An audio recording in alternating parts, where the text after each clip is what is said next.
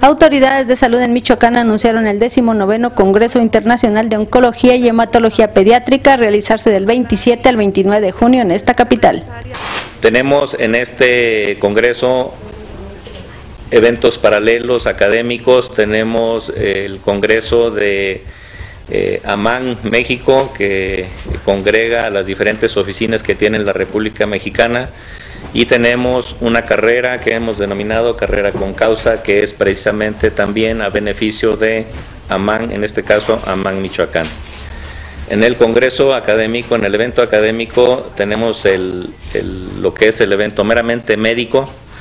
tenemos otro que está enfocado para enfermería y otro para psicología y trabajo social. Estos problemas de salud pública serán abordados en ramas de muy alta especialidad y de primer contacto. El Congreso Médico tiene lo que es eh, la parte de muy alta especialidad, que así se llama, que es la hematología y oncología. Es un congreso en donde tenemos cinco profesores internacionales que tienen para el hematólogo y el oncólogo pediatra de la República Mexicana lo más novedoso en un concepto que se llama terapia blanco. Es un concepto muy novedoso de tratamiento en cáncer en términos generales y con un apartado también muy importante para algunas formas de cáncer en la infancia y la adolescencia. El objetivo de este, tenemos aquí 21 profesores nacionales y el objetivo de esto es que todos los médicos en el interior del estado y obviamente los de la ciudad de Morelia también, que le llamamos de primer contacto, que es el médico que ve de primera intención al niño, el niño en el que se puede sospechar o se sospecha que pudiera tener cáncer, tengan la capacitación y la actualización adecuada, correcta,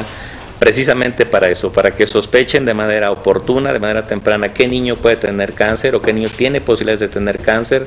lo deriven con nosotros de manera oportuna y de esa forma podamos hacer diagnóstico temprano, tratamiento correcto, ofrecerle las mejores posibilidades o las más altas posibilidades de llegar a curarse y la mejor calidad de vida. En un niño con cáncer es muy difícil a veces encontrar una vía para ponerle su quimioterapia, entonces tenemos todo lo nuevo en relación a las vías por las cuales se debe de canalizar al niño,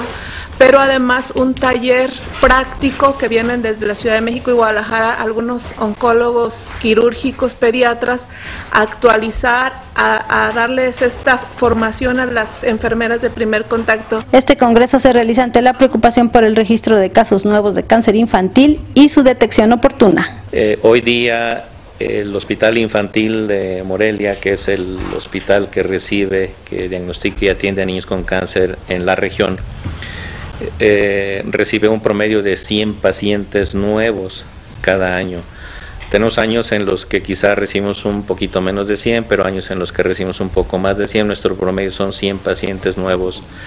cada año. Y esto es algo muy importante si tomamos en cuenta que la República Mexicana tiene registrado alrededor de 5.500 a 6.000 pacientes nuevos cada año. Que los médicos que no saben sepan, los que saben poco sepan más de cáncer en la infancia y la adolescencia y de esta manera todos hagamos grupo y mejoremos esto.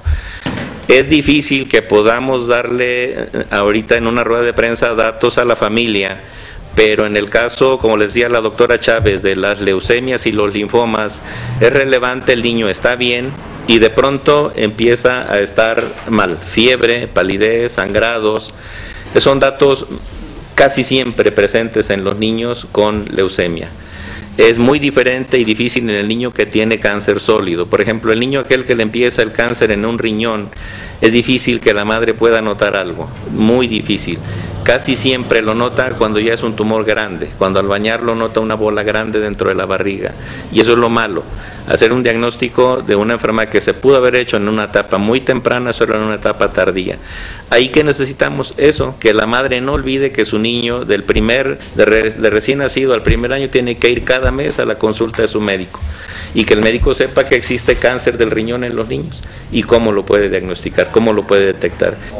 El objetivo de este congreso es que los médicos puedan hacer un diagnóstico oportuno. Informó para Noticiero Nuestra Visión, Patricia Torres.